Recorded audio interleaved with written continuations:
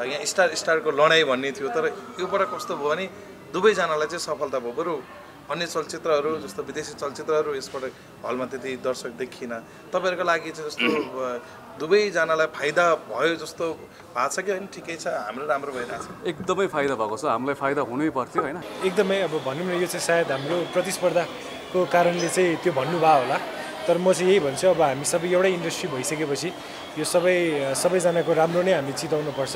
किनभने हामी विदेशी फिल्मलाई फाइदा हुनुभन्दा आफ्नो नेपाली फिल्मलाई दाजुभाइलाई फाइदा भएको राम्रो। डेफिनेटली उहाँ उहाँहरूको हाम्रो सबैको जित भनेको सबै इन्डस्ट्रीको जित हो। यो भिडन्त होइन महाभिडन्त होइन यो महाउत्सव हो उत्सवमय होस् भनेको थिएँ होइन उत्सव नै भएको छ महोत्सव भएको छ। अहिले आएर हामी हेऱ्यौँ भने नेपाली फिल्मले राम्रो गरिरहेको छ।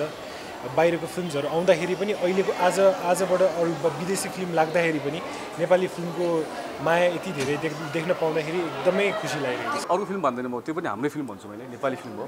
हाम्रै कलाकार हुनुहुन्छ होइन? हामी मेरै समकाली साथी हुनुहुन्छ। सो सम्पूर्ण टिमलाई बधाई छ। यो महाउत्सवमा तपाईँहरू आइदिनु भएको छ होइन?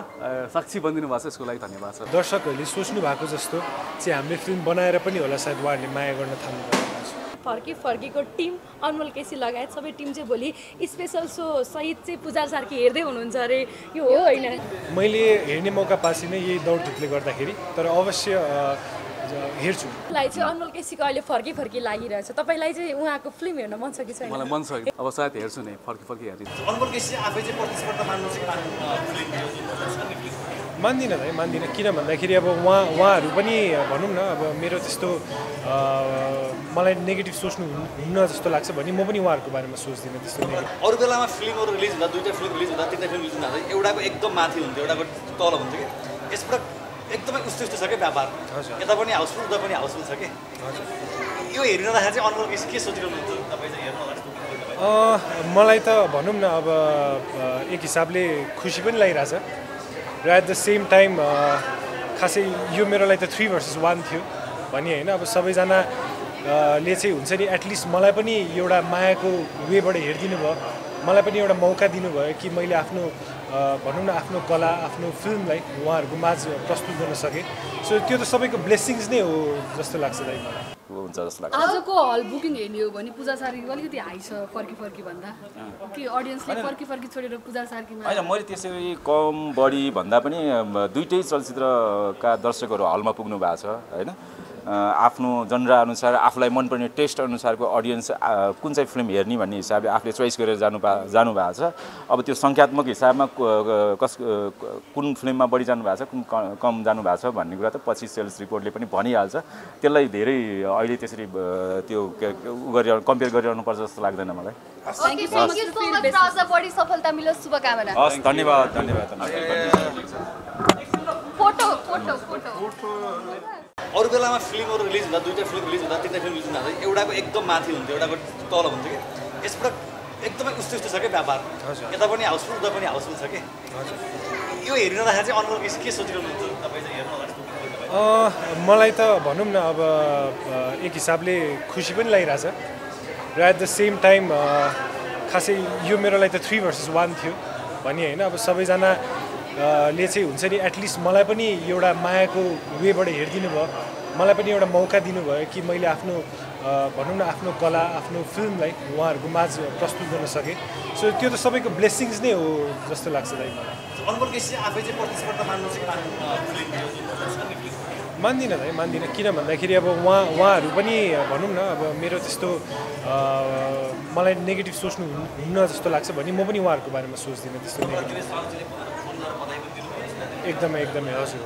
तपाईँले फिल्म हेर्नु मैले हेर्ने मौका पासी नै यही दौडधुपले गर्दाखेरि तर अवश्य हेर्छु।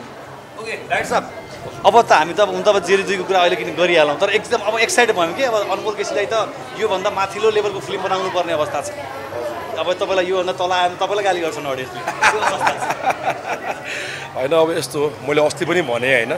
मेरो लागि च्यालेन्ज भनेको चाहिँ म कम्पिटिसन जहिले नै आफूसँगै गर्छु क्या मेरो प्रिभियस मुभीभन्दा नेक्स्ट मुभी चाहिँ राम्रो होस् भन्ने जहिले पनि मेरो च्यालेन्ज त्यही हुन्छ होइन? जस्तो अब यो फर्की फर्की अब हामीले बनायो यति राम्रो हामीले रेस्पोन्ड पायो। यो अब यो त अब हाम्रो बिजनेस जुन किसिमको दसौँ दिनमा जुन किसिमको त्यही पहिलो दिनको क्रेज जस्तो एक्साइटमेन्ट जस्तो जुन किसिमको आज अडियन्सहरूले माया र साथ दिनुभयो होइन?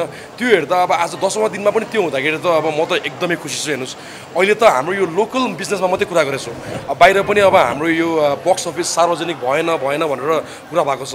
हामीहरू चाहिँ के केमा छ भन्दाखेरि हाम्रो बक्स अफिस चाहिँ युजली चाहिँ अब नेपाली फिल्महरूको चाहिँ नेपालमा मात्रै हुन्छ। विदेशतिर हामीले फिक्समा बेचिरहेको हुन्छौँ फिक्सलाई हामीले बक्स अफिस खाउन मिल्दैन। तर I think this is for the first time America US Canada New Zealand Australia सबै ठाउँमा हाम्रो यहाँको जसरी हाम्रो यो डिस्ट्रिब्युसन भएको छ बक्स अफिसमा बाहिर पनि भएको छ। सो त्यो भनेको चाहिँ अब हाम्रो सबै कलेक्सन गरेर चाहिँ एकमुष्ट हामीले चाहिँ अब यो चाँडै नै अब सार्वजनिक गर्ने भनेर छ। अनि जुन किसिमको अहिले हाम्रो एक त हाम्रो स्केल फिल्मको लगानी स्केलै एकदमै ठुलो छ क्या। सो त्यसले गर्दाखेरि चाहिँ अब हाम्रो अब त्यो फर्स्ट एनाउन्समेन्ट गर्दाखेरि पनि ठुलै रकम दिउँ भनेर चाहिँ हामी अलिक कुरिरहेको छौँ। अस्ट्रेलियाहरूकोबाट चाहिँ अहिले हामीले स्टिल डिसिआरहरू आउनु बाँकी नै छ। त्यो तर अहिले चाहिँ हामी तर हामीलाई भित्रभित्र थाहा भइसकेको छ मोटामोटी नम्बर हामी चाहिँ एकदम एक्साइटेड छौँ एकदम खुसी छौँ। अब यहाँ दर्शकहरूले अस्ति कमेन्ट गर्नु जस्तो तपाईँ हामी किर्तिपुर हलमा गयौँ हुनुहुन्थेन जस्ताजी। आज पनि हुनुहुन्न। हजुर। किन जस्ता कहाँ हराउनु भयो? किन आउनु भएन भन्ने? अब अनुभवजीले भन्नु कुरा जस्ताजी मिस भइरहनु भएको छ यहाँ। एकदमै उसको थोरै हेल्थ प्रब्लम छ। ऊ अलिकति बिरामी छ त्यही भएर आउनु पाएन। तर ऊ यहाँ नभए पनि मनमा मेरो पनि as a brother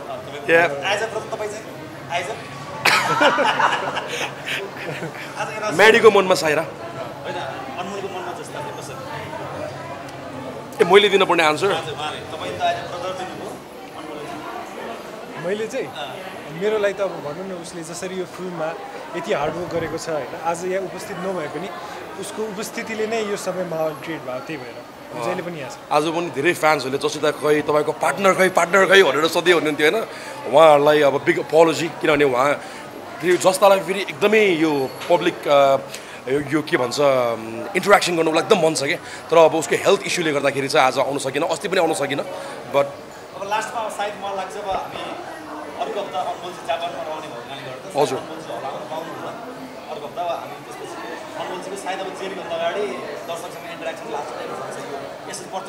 most probably अब मेरो हल भिजिट चाहिँ सायद यही नै अन्तिम हुनेवाला छ। किन भन्दाखेरि मेरो बाहिरतिर पनि यो हाम्रो फर्की फर्कीको देश बाहिर अरू अरू देशहरूमा पनि सोजहरू भइरहेछ। सो म उहाँको अडियन्सहरूसँग पनि इन्टरेक्ट गर्न जानुपर्छ। सो सम्भवतः अब दर्शकवृन्दहरूले यही कन्टिन्युस माया दिइराख्नुहुन्छ भने म आउन पनि सक्छु हो मैले त्यही भन्ला थिएँ जुन किसिमको आज मा आजको दिनमा दसौँ दिनमा अब अनमोलको दसौँ इयरमा दसौँ फिल्मको दसौँ दिनमा जुन किसिमको माया देखाइराख्नु भएको छ यस्तै माया हाम्रो आगामी हप्तामा भयो भने प्लान क्यान चेन्ज हामी आउन सक्छौँ फेरि आउन सक्छौँ. So it's a very like त्यो भनेको चाहिँ अब तपाईँको एउटा सरप्राइजिङ कुरा हो हामी सरप्राइज दिन आउन सक्छौँ.